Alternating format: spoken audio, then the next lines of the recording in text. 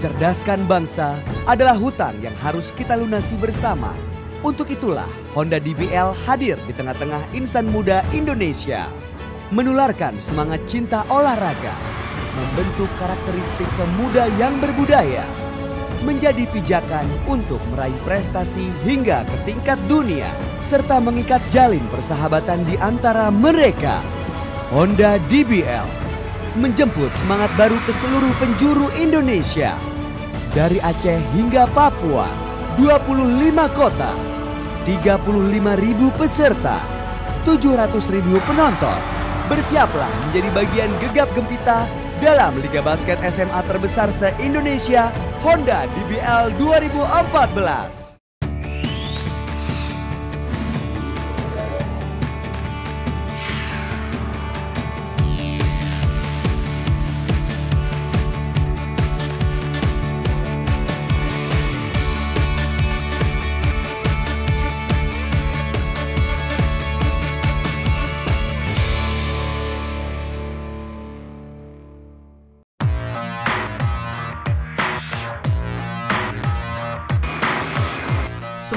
Disiplin, dan sportivitas kaum muda tak bisa tumbuh begitu saja. Honda DBL hadir menjadi salah satu wadah untuk memupuk semangat positif ini.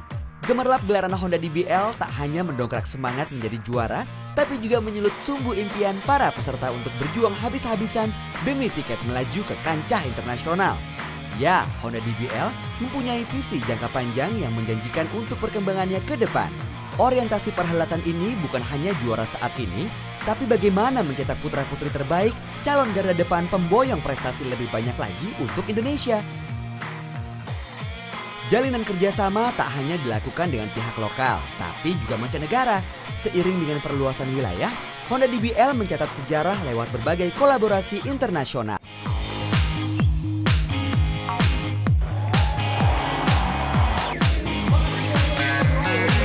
Pada Oktober 2008, DBL mengirimkan tim All-Star Putra dan Putri untuk pertama kalinya ke Perth untuk belajar dan bertanding melawan tim-tim muda pilihan Western Australia.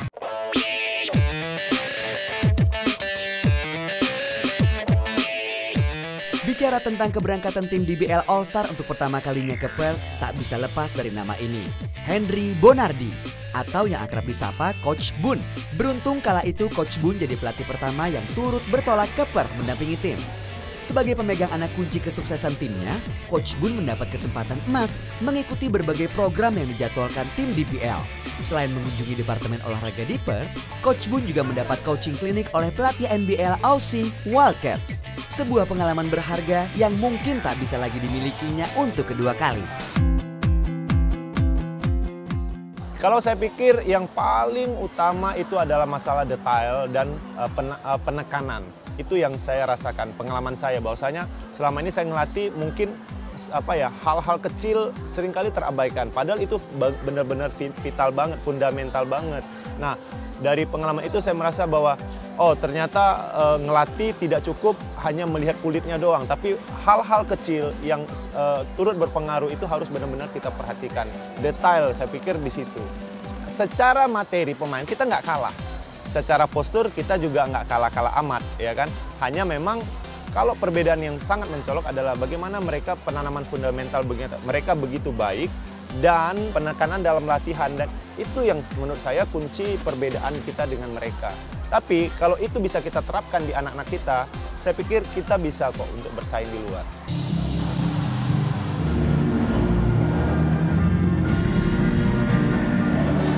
Menjelang akhir kunjungan, tantangan yang sesungguhnya harus dihadapi para penggawa DBL All Star. Coach Bun menjadi pelatih sekaligus saksi sengitnya laga persahabatan antara DBL All Star dengan tim junior Australia. Ternyata masih banyak yang harus dikejar oleh tim DBL All Star kala itu. Tantangan pun dijawab di tahun-tahun berikutnya. DBL All Star belajar bagaimana mengembangkan basket dari banyak sumber sebagai amunisi menghadapi perang di lapangan. Hingga kini, prestasi pada laga persahabatan yang diperoleh tim DBL All Star semakin menanjak setiap tahunnya. Tim putra DBL Indonesia All Star 2009 misalnya yang berhasil mencetak kemenangan hebat menundukkan tim Western Australia dengan skor tipis 68-66 di Perry Lake Stadium Perth. Ini merupakan kemenangan pertama dalam sejarah basket Indonesia di Australia. Perjalanan itu mengubah pandangan Coach Boon dalam wawasan dan visi melatih, terutama dalam penanaman fundamental basket.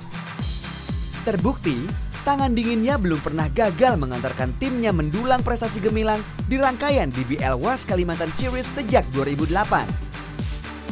Pelatih sekolah lain pun mengakui butuh mental kuat untuk menghadapi tim besutan Coach Boon agar tak menjadi korban keganasan timnya. Untuk peta kekuatan setiap tahun itu selalu berubah dan tantangannya juga selalu berubah. Uh, hanya posisi kami sebagai juara bertahan itu yang sebenarnya uh, bisa dikatakan satu beban atau juga tantangan bagi saya sendiri dan bagi tim saya. Artinya untuk tahun ini juga kita tetap uh, akan mencoba mempertahankan prestasi yang sudah kita raih selama ini. Terutama untuk cewek kita mencoba mengejar uh, champion yang ke-6 ya mudah-mudahan bisa terwujud ya kan. Uh, tapi saya pikir lawan yang kami hadapi juga bukan lawan sembarangan, artinya mereka uh, walaupun muka baru tapi punya kekuatan. Nah itu yang harus kami antisipasi. Sedangkan untuk lawan di tim putra, tim SMA Negeri 1 Pontianak, saya pikir mereka secara postur mereka kalah, tapi semangat, spirit, dukungan supporter terutama itu yang tidak boleh kami anggap remeh. Ingat, prinsip defense adalah memperlambat aliran Pelatih berprestasi nasional yang kerap membawa SMA Santo Petrus meraih puluhan trofi itu yakin Lawan mana pun yang akan dihadapi timnya, SMA Santo Petrus harus siap. Strategi bermain lebih menekan dan terus menyerang masih jadi trik andalan. Menurut saya apa yang sudah dijalankan oleh PT DBL selama ini dalam pengiriman tim DBL All Star itu sudah cukup baik. Kita mendapat wawasan baru, mendapat pengalaman baru uh, di mana uh, itu yang belum pernah kita lakukan itu yang belum kita miliki yang akhirnya menjadi satu satu apa ya namanya satu bekal tersendiri yang akhirnya kita bawa pulang dan kita jadikan sebagai uh, apa suatu modal untuk mengembangkan diri memajukan basket di daerah kita. Ya, perjalanannya ke Australia enam tahun silam membawa dampak tidak hanya bagi Coach Boon secara personal, tapi juga kekuatan pondasi tim gemblengannya hubungan kerjasama internasional Honda DBL pun semakin luas. Sampai akhirnya tim DBL Indonesia bisa terbang untuk belajar dan tanding ke Malaysia, bahkan sampai ke pusat hiburan bola basket dunia yaitu Amerika.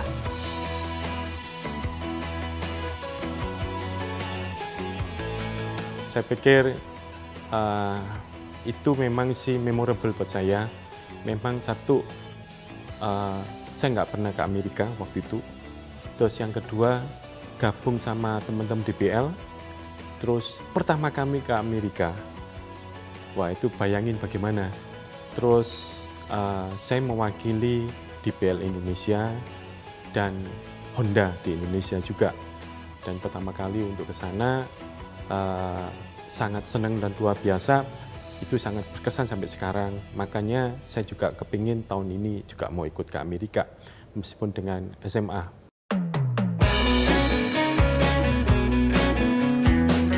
Dari kesempatan inilah mereka memilah-milah hal-hal terbaik yang kemudian jadi bahan bakar untuk melesat lebih jauh ke depan.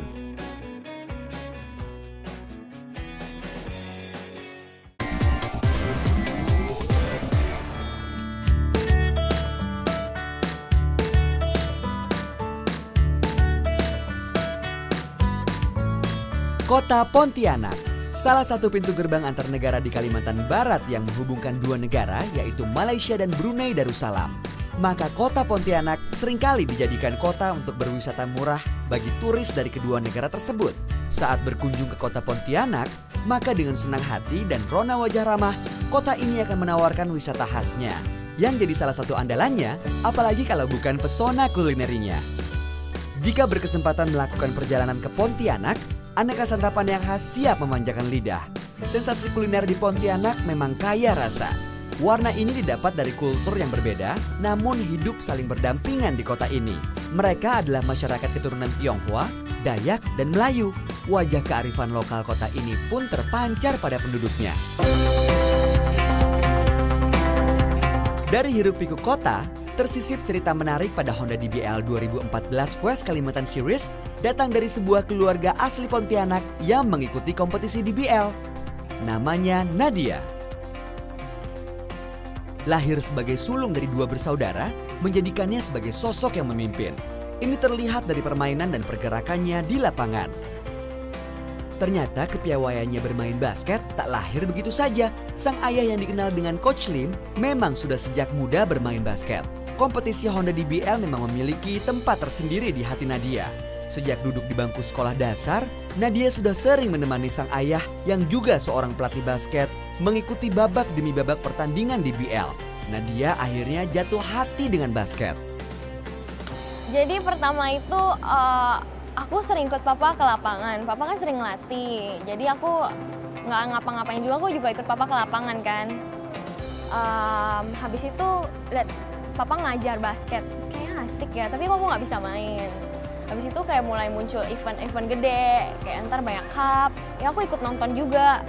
Udah ikut nonton muncul di BL itu yang menurut aku tuh bener-bener kayak wah aku pengen bisa ada di event ini juga. Aku harus top apa harus muncul di event ini. Bagi Nadia ini bukan hanya sekedar kompetisi biasa. Lebih dari itu DBL adalah mimpi besarnya ia berharap suatu hari nanti bisa mewakili Pontianak di DBL Camp bersama sang ayah. Excitementnya itu luar biasa kayak heboh banget pokoknya DBL tuh keren banget deh pokoknya uh, muncul di koran kayak di tahu uh, apa dikenal sama banyak orang sampai ada yang namanya first team itu bayangan aku itu ya first team keren banget ya bisa bisa kepilih ke Surabaya ikut training, uh, latihan, kenalan sama teman baru itu keren banget buat aku kayak gitu kan. Apalagi kalau bisa pergi bareng papa, itu kebanggaan sendiri. Tahun ke tahun, posisi sang ayah di nominasi First Team memang sulit direbut pelatih lain.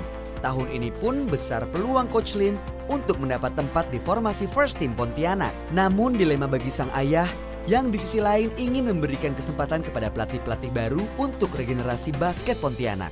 Saya bilang, Mas, saya nggak mau lagi lah. Memang dari dulu tanggal 2000, tahun 2011 saya sudah bilang saya nggak mau karena pengen memberi sebenarnya saya tidak berhak memberi kesempatan kepada orang karena itu punya DBL.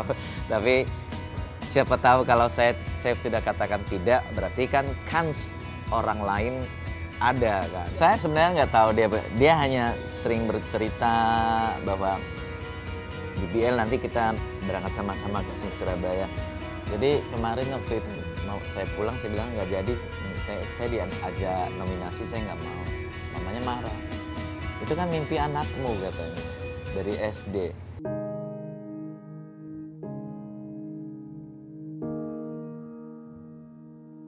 Hari itu nama Nadia dan Coach Slim pun diteriakan lantang. Keduanya berhasil masuk first team mewakili Pontianak. Mendapat tempat untuk berjuang di DBL Camp. Luapan kebahagiaan meluluhkan hati sang ayah untuk sejenak mendahulukan kebahagiaan putri sulungnya. Mewujudkan mimpi Nadia yang tak bisa dia beli dengan apa pun juga.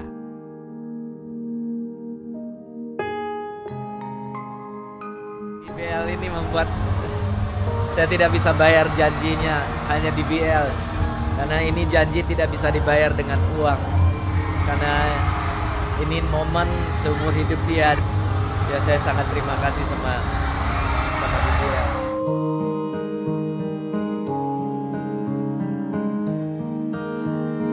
Kelak tahun ini akan jadi DBL Camp yang berbeda bagi Coach Lim. Bukan hanya sekedar mendulang dan berbagi ilmu selama camp, tapi juga menemani buah hatinya berjuang meraih satu mimpi selanjutnya, tiket menuju Amerika. Buat Nadia, supaya Nadia bisa serius uh, apa terlepas dari kepilih atau enggak ke Amerikanya ya. Cuma maksudnya tentu banyak uh, pelajaran yang mungkin nggak dapatkan selama ini itu yang bisa buat nanti perbaiki apa uh, keterampilannya kan dalam main basket. Papanya ya juga sama belajar sebanyak mungkin untuk bisa dilatih ke anak-anak didik supaya lebih banyak lagi yang apa uh, yang pebasket yang ulung kan. Mimpi aku di basket itu aku bisa sampai amin-amin nasional ya, tapi tentunya aku harus sisihin waktu aku lebih banyak lagi buat latihan terus-terusan. Dan uh, buat teman-teman yang lain juga, basket itu sebenarnya bukan game yang susah kok. Cuma kalian takut buat mulainya aja. Aku juga bisa kayak gini karena aku udah latihan terus-menerus. Semua orang tuh bisa. Kalau mereka punya keinginan buat ngewujudin itu sendiri.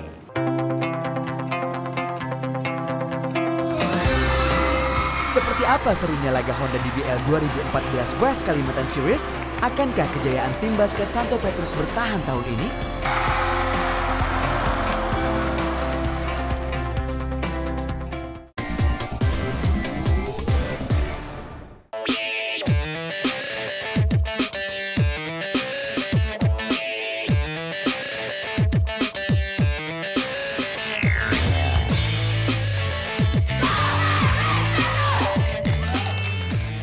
Setiap peserta Honda DBL memiliki kesempatan membawa tim sekolahnya menjadi juara.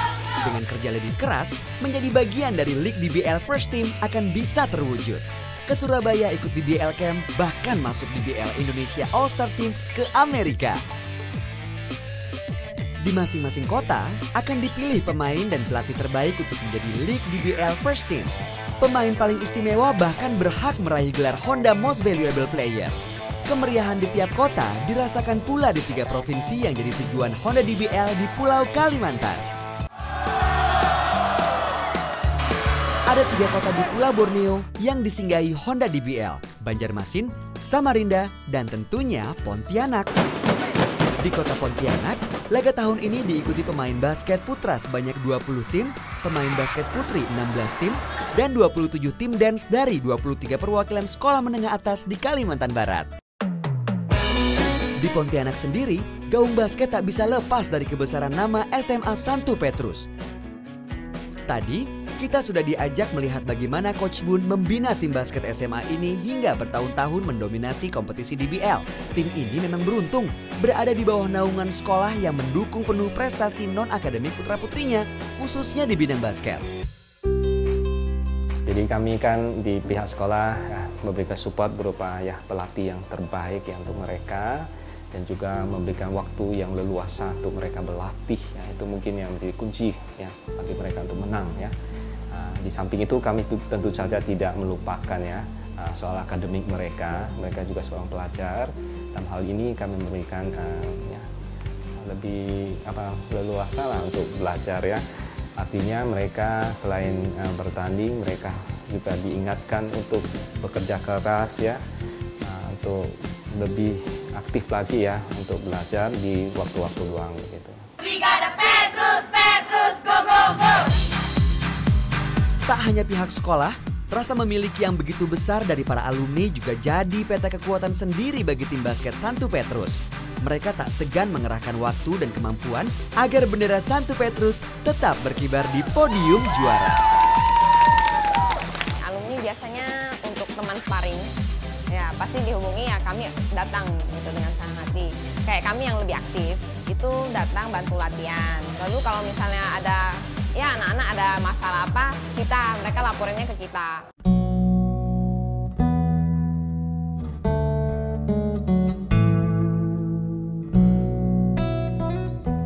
Terbukti, sinergi antara sekolah dan seluruh elemennya berhasil mendulang banyak prestasi. Tak hanya kemenangan tim, salah satu siswanya juga berhasil masuk ke jajaran tim basket nasional.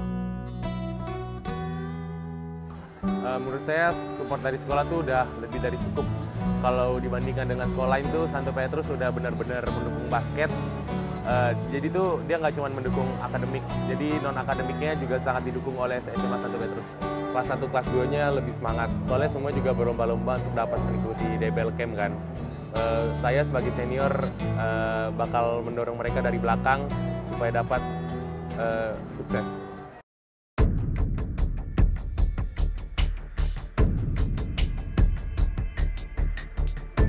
Ya, prestasi tim besutan Coach Bun di Honda DBL memang gemilang. Namun, lawan tahun ini tak bisa dianggap enteng. Santo Petrus tetap pulang membawa kebanggaan Sebab skuad putra mereka berhasil meraih gelar champion usai menundukkan SMAN 1 Pontianak dengan skor akhir 80-44.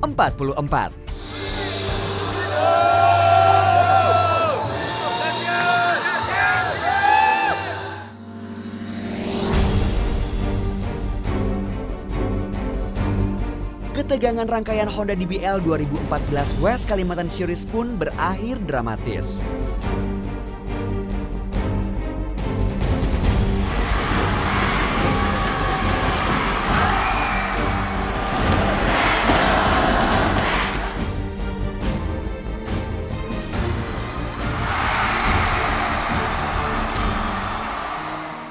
Tim putri SMA Bina Mulia berhasil mengakhiri dominasi SMA Santo Petrus.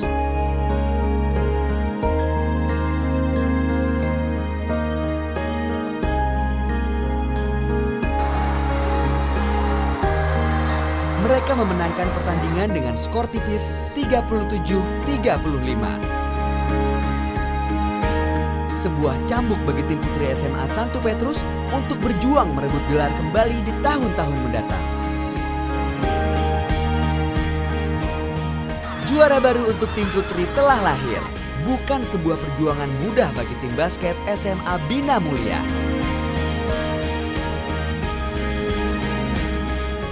Kemenangan ini pun berimbas pada prestasi berikutnya.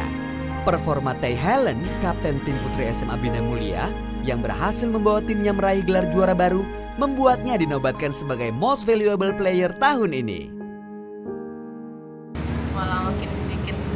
kalahin mereka lah iya.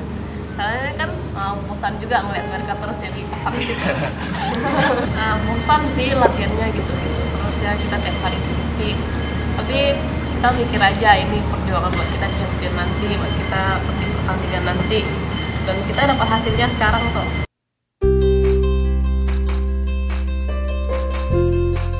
Ada hal yang lebih dari sekedar basket di tahun ini. Ada rasa kebangsaan yang kuat ditanamkan pada kompetisi ini. Dengan menggelar DBL di berbagai daerah di Indonesia, menunjukkan adanya pemerataan, penghargaan pada luas dan beragamnya Indonesia, dan penghargaan tak langsung bagi berbagai daerah bahwa mereka merupakan bagian dari Indonesia. Honda DBL telah menjadi program yang mampu membangun insan muda berbudaya dengan olahraga. Siapa bilang anak SMA tak punya tujuan? Kini mereka tahu apa yang ingin mereka capai setiap tahunnya.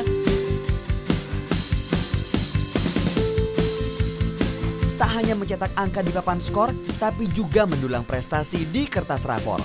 Ya, mereka punya keinginan kuat untuk terus maju baik secara akademik maupun non-akademik.